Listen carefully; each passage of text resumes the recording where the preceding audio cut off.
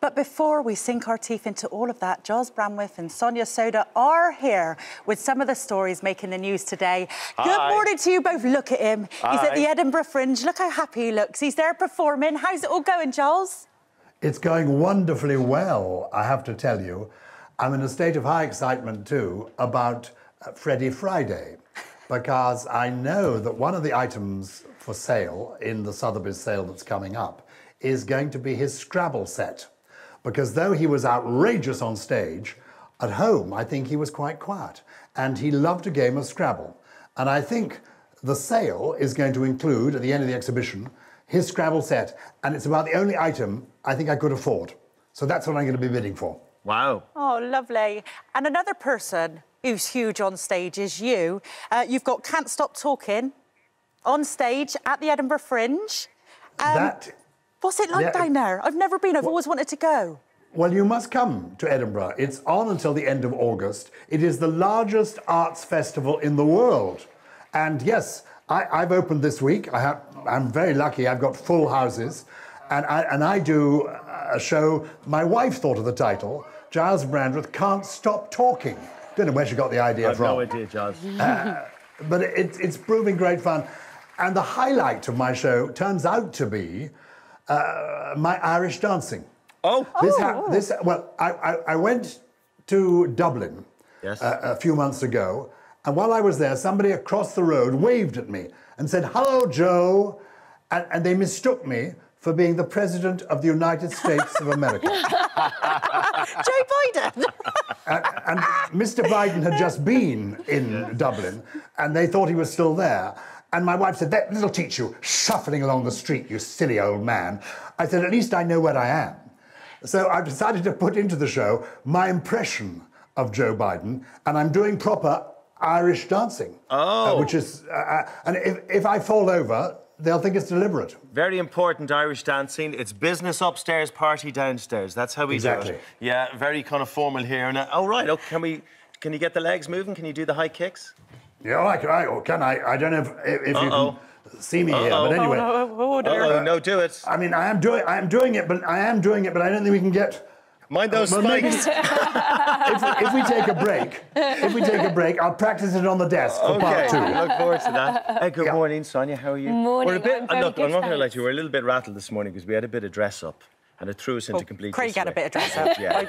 I, I just saw it. I thought it I- was brilliant. It's only when I saw it go out I realised my children are watching that right now. Bit rattled for the first few I'm minutes. sure they'll love it too. I liked it. I liked it. How It's are very you today? Mrs. Doubtfire. Yeah, well, that's actually the text I got from my wife this morning. Um, Giles up in Edinburgh. Have you been up to see him yet? Are you going to? I haven't, but I would love to come if, if it, maybe we'll host all three of us. All three. Well, I'll tell you what else is raffled. Rishi Sunak's Uh, yes. household. Uh, let's go to talking point one first of all. Protesters uh, released on bail after climbing the Prime Minister's roof. But luckily, he's in LA, isn't he? He's, he's, he's, he's not He there. is. He's in LA with his kids. They're on a family holiday. I think they're in Disneyland or something. But essentially, these protesters from Greenpeace, I think they were, they, they scaled up to the roof of his mansion in his constituency and unfurled a whole wad of black, oily cloth as part of an environmental protest. Now, I suppose on the upside of this sort of protest, um, it's not like, you know, they're blocking roads like some protesters have been doing. They're not stopping, you know, people getting trying to get their mum to hospital or ambulances with people in the back. But I feel very queasy about this type of protest because I think it's an incursion on politicians' private lives Yeah. to do this. It's very different if you're doing this in Parliament Square or, you know, in public. This is his house. Where he lives with his children. Exactly, he's not there. But it's still not okay in my view. There's, there's a lot that puts people going off into public life. I disagree with Rishi Sunak politically on lots of issues, including the environment. But for me, I do think this kind of crosses a boundary. And I think it also maybe plays into the Conservatives' hands because we've been seeing Sunak and other ministers trying to sort of say they're on the side of the motorists in, in you know, the whole debate about how green we should go, how quickly. And I sort of feel it kind of maybe hands them an own, goal as well. The only thing is, protesters will tell you, you know, uh, here it's been raining for months. We've had no summer. Southern Europe is seemingly on fire. Um, they have to make their point somehow. And It was a peaceful protest. Yeah. Although scary for Rishi Sunak's family Yeah. to know that they could, get there. But we're talking about it. And this is the argument from the protesters' perspective. Yeah. We have to talk about it, and this is how we do it. The, the thing is, if somebody, you know, he's, he's our English Prime Minister, OK? Somebody's got onto his roof. I'd be really questioning his security right now, wouldn't you, Charles? Let me tell you, from the perspective of someone in Scotland, he is the British Prime Minister. Oh, sorry. He is the Prime Minister of the whole of the United Kingdom. But I was in Richmond in North Yorkshire last week, and I met people who, who know him and his family, and like the fact that the British Prime Minister is based in, a- in a real county, they think God's only county, mm-hmm. and, and he lives there with his family. This isn't a public protest, this is a private protest. To invade somebody's garden, to climb onto their house, Yes, it gets you publicity, but actually, public protests should be held in a public place. And if you've got a point to make, you can actually field people at the forthcoming general election, and you can have candidates, and there will be, for example, Green candidates that you can support and actually make your voice heard that way. But invading somebody's home like this is simply not on. But, but, but protesters, again, Giles will argue, if it was another march down through Westminster, we wouldn't talk about it. We are talking about it, therefore, we're bringing attention to the climate crisis. Yes, and then you have to ratchet it up because we're talking about it this time. Would we talk about it next time? Where does it end? We actually do need to let all our parliamentarians have a private life in their own homes. And, and from my point of view, this simply isn't on. Why doesn't he have security there 24 7, by the way? It's, I mean, it's a good question, but I mean, it would have to be paid for by the state. And clearly, um, the police have looked at it and decided that, you know, when the Prime Minister's out of the country, the, the security gets attached, I suspect, to her, the Prime Minister and his family rather than his property. And, you know, uh, uh, personally, I think it's right that these protesters were arrested. They did trespass. Um, they did potentially cause damage to private property. Um, you know, they've been released on bail. Obviously, they've been charged. There's not been a trial yet, but I do think it's right that they were arrested. But they, you know, it clearly wasn't a security risk in the same way it would have been if Rishi Sunak or his family had been in Sure. the house at the time. So I assume that was a calculation around security. Sure, sure. Um, Wilko, I mean, th- I, I, you're really saddened by this news I today, weren't you? I love Wilko. So good for stationery. It's great, and just all those like little random bits as well. And it's got great pick and mix too.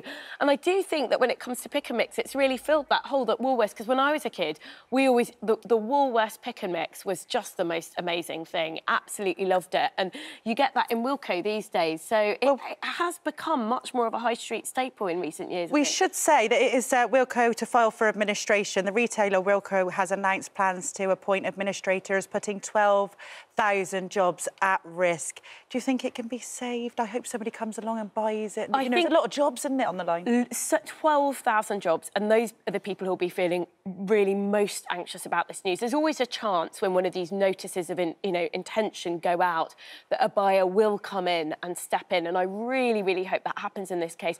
But we've been seeing so many kind of high street stores, um, you know. Stores like Debenhams, for example, um, Woolworths itself, um, uh, stores like you know, com- like convenience stores like McColl's.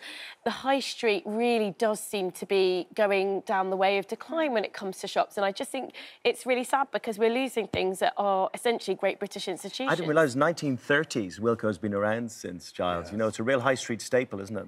Absolutely, and founded by the Wilkinson family, hence the name. And there's been a little bit of muttering among some of the people who are the employees there that I think the, uh, the there was a dividend uh, of about three million pounds taken out by the Wilkinson family and others only a couple of years ago. So clearly it has been thriving until recently. But 400 stores going to the wall would be terrible. Uh, But I never thought that Woolworths would come to an end. Things do change. The high street is having to change. Oh, when I was a kid coming over to England, going to Woolworths, we didn't have it in Ireland, was such a thrill. Oh, I 'cause they just had stuff you couldn't get at home, you know. I know, it's sad to Mm, I see bought my first uh, my first uh, tape from Woolworths too. Wow. Who was it? You remember? It was Take That. Of course it was. It was Of course Babe. was. It wasn't even one of their good songs. Um, next up, uh, Meghan and Harry royal snub. So Prince Harry and uh, Meghan Markle have been reportedly um, snubbed from events uh, commemorating the late Queen's death. Giles, can you update us on this? Excuse me, I'm just putting on my party hat because today is Meghan's 42nd birthday. Oh. Oh, And happy, Happy birthday, birthday. Meghan. Happy I- birthday. I, have decided I'm, I'm tired with all the negative talk about Meghan and Harry. Uh-oh. So I'm celebrating. Up here in Scotland, we're having a party. I thought you were uh, going here. Madonna there for a second, Giles.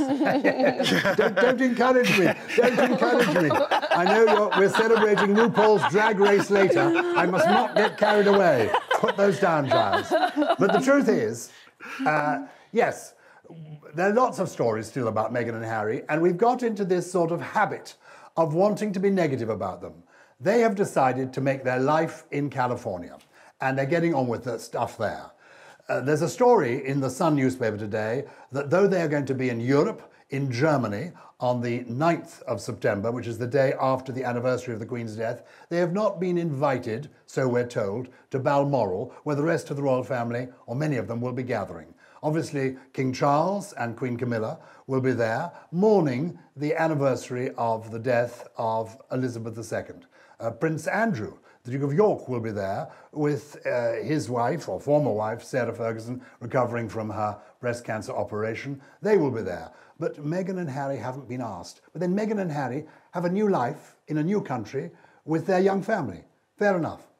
Yeah, good. And I like it. No more negativity. Yeah. Let's be positive. Yeah, just leave Something we can all sign Yeah. up to, I think. Spread a bit of light. Leave everyone to it, for goodness Yeah. sake. Right, still to come. Um, and I'm sure you've been wondering about this. What do Josie and Sonia and Giles and I look as Barbie and Ken? I know it kept you awake at night, hasn't it? Well, stay tuned. We're going to discuss that and an awful lot more right after this.